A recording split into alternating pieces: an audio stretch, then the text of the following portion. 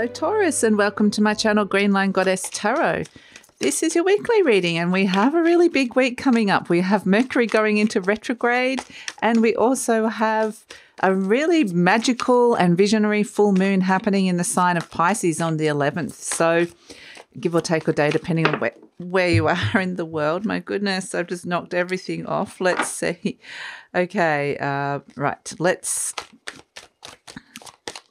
Let's get a card for you, Taurus. My goodness, everything's a little bit erratic at the moment. We need uh, a sense to let it go, said says Kuan Yin. Yoga. So this would be really great to do some body work, some exercise work, just connect in with your body. If you're into yoga, great time to do yoga, but it's really about finding that mind body connection. If there's something that's been really bothering you or stressing you or worrying you, it's kind of saying let, let it go, uh, connect into that mind, body, and spirit energy, and, and uh, there may be some aches and pains, some little um, niggles in your body. I really feel like you're going to feel this in your body, Taurus. And so it's just about moving and, and loosening that tension uh, to kind of let some energy flow through you. So it's wanting really the energy to flow, which is really lovely. And we've got, yes, speaking of which, drink more water.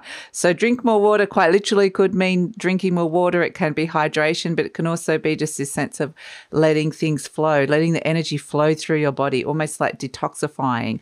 So yeah, that's kind of I feel like it's it's very much a sensory thing that you're going to be feeling, but it's about uh, yeah because there's some nice energy wanting to come in. That's the thing with this. So but yeah, it's very much connecting into your body and letting go of any kind of old energies or stress or anything that you don't need anymore. So let's see. My goodness, why do all these cards are just coming out for you, Taurus? Okay, Seven of Feathers, preparation, resourcefulness. I kind of get just put the plans to the side for the moment. You don't need to be doing anything. It's about just connecting in. It, the plan can still be there, but especially with this full moon energy, they're saying it's about just sitting with an energy, being open and getting inspired to a vision for the future. Let this unfold, which is really nice. So put the plans to the side for the moment. The shadow, self empowerment and ambition, and the Queen of Acorns, passion and creativity, because there's more to this vision that's wanting to come in at this moment in time. It's becoming fuller. So it's got, it's more adding more to the picture future at this moment in time. So it's like you can't, they're saying they don't want you to make plans or to be working too much on the plans until it's fully formed this, what's going on inside you in terms of a vision for the future or a vision of what you want something to be looking like at this moment in your life. So yeah, I feel like there's more ambition to come through. There's more passion and creativity that's coming through. It's a really empowering energy, which is really lovely. Speaking of which, I can see a little putty coming in. We've got Mr. Starman coming through for you. Okay, so we've also got the Magician, Willpower, Creation, and the Emperor, Focus and Stability. Wow. Okay, so you really owning this, Taurus. This is kind of your thing that you're, uh, I just get it's like this magical vision here that you're uh, bringing into reality. But it is you are the magician. You're working your magic at this moment in time. There's, like I said, it's a magical full moon. It's a beautiful energy, and so give it space to to come into creation, to manifest, which is really fantastic. And then you're in charge of it, large and in charge. You're the emperor. So fantastic focus and stability. They're saying hold the space, hold the space, create a, a place for this to emerge and grow, which is really lovely. So let's see what's shifting and changing over this week, what energy is moving on. And that's why it's kind of saying we're wanting you to kind of let go and let go of old stuck energy and open to the flow, the flow of the universe, the flow of what's coming in at this moment in time. It's time to kind of reap a harvest of sorts because of um, culmination of a whole heap of old energies, plus also old cycles, plus, you know, you've put in the work.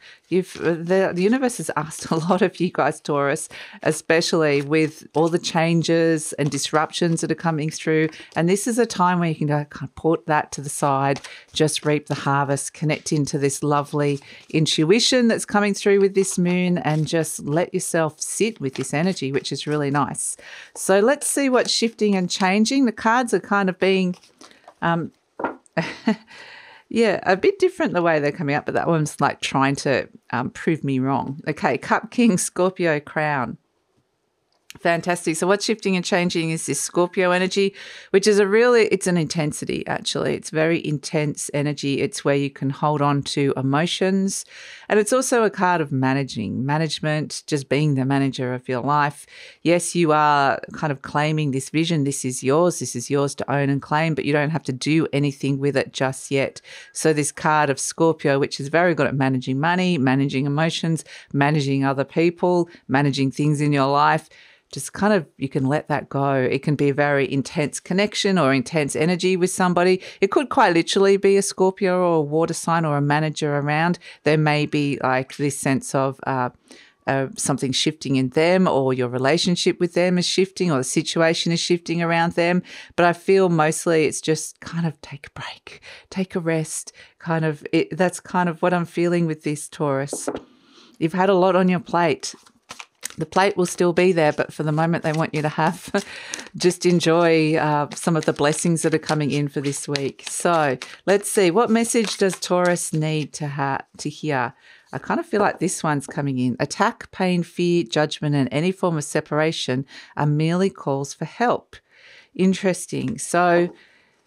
I feel like this is very connected to a person in your life that you've had a pretty intense connection with, and it's interesting this this full moon coming in Pisces because I feel like we're going to feel this effect all week, and really it creates this sense of oneness as well, not separation, oneness, and so.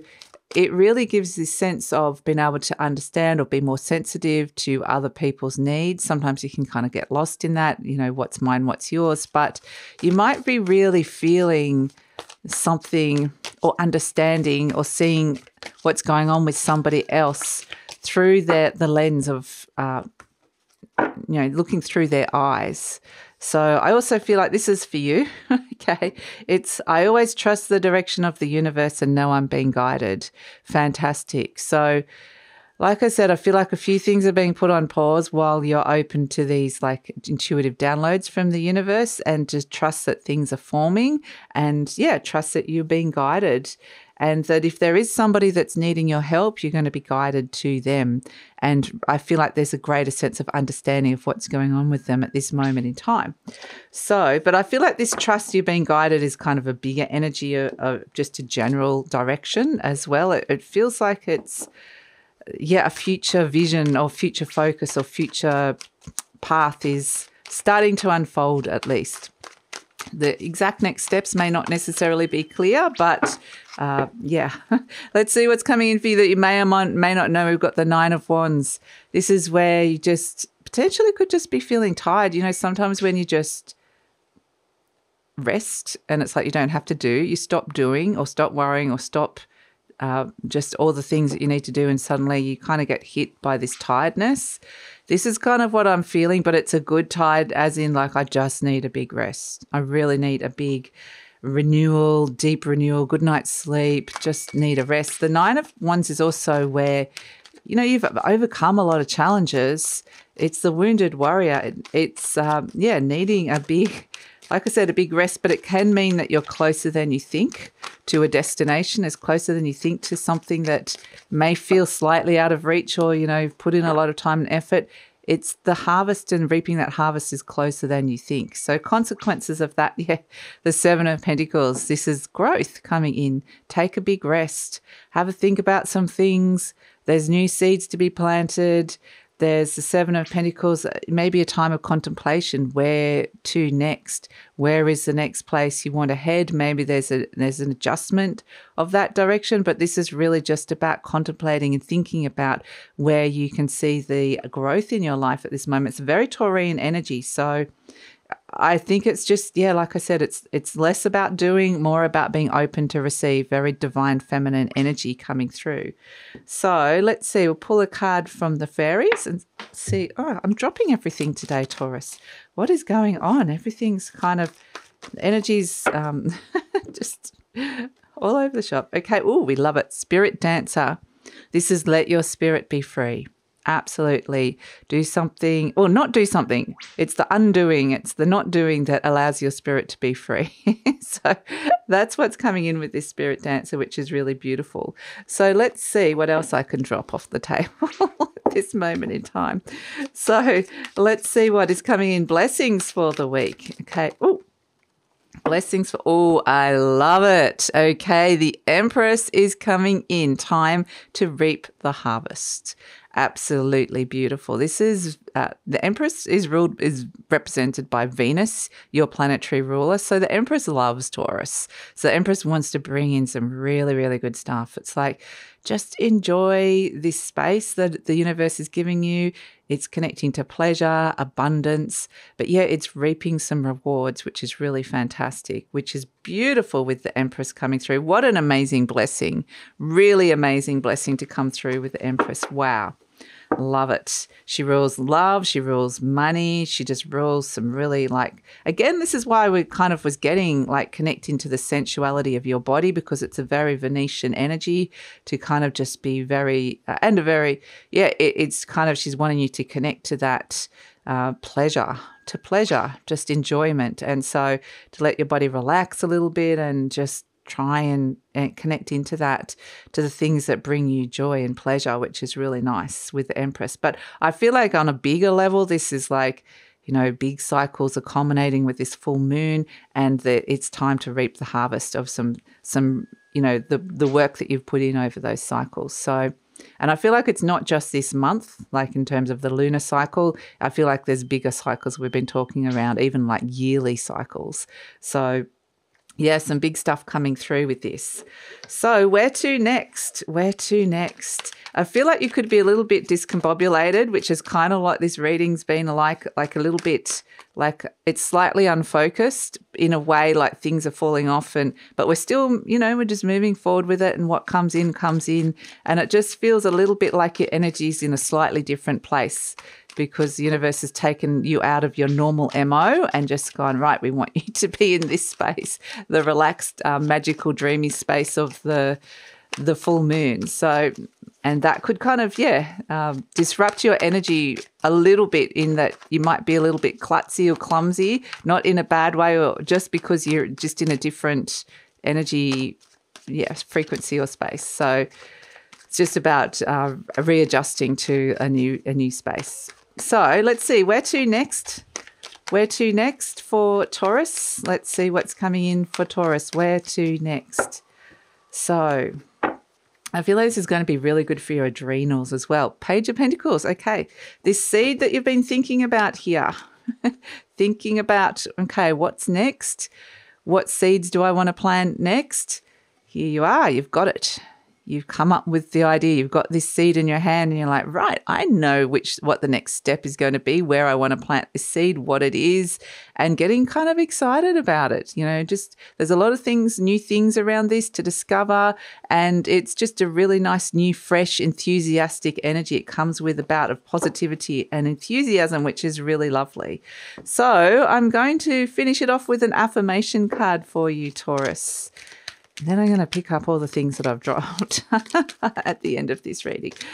Okay, what do we have? I love this. My work is deeply fulfilling. Now, when I get this, it's not, it can relate to your work and career quite literally, but I kind of just get this as the deeper work. This is your work, your sole purpose, just who you are in this world. So it's kind of finding when we say the work, you could kind of say the work is just your life in general. So it says, Today I give my best to that which I do, knowing that when one experience is complete, I'm led to even more fulfilling and rewarding experiences. And that's exactly what it is. It's a culmination energy. An experience is something's completing, and then you're being led to something new and fulfilling. This new seed is sitting opposite, I mean, no, sitting next to, not opposite. The Empress It's coming alongside with this sense of this is a really fertile time to plant this seed. So, wow, beautiful, reaping the benefits of that. So, yeah, that's it, Taurus. That's your weekly reading. Enjoy the week and love to hear how this is resonating. So, please leave a comment and please leave a like. That helps with the growth of the channel as well and helps support the channel. And subscribe if you haven't already subscribed and share if you think this will help somebody. And take care, Taurus.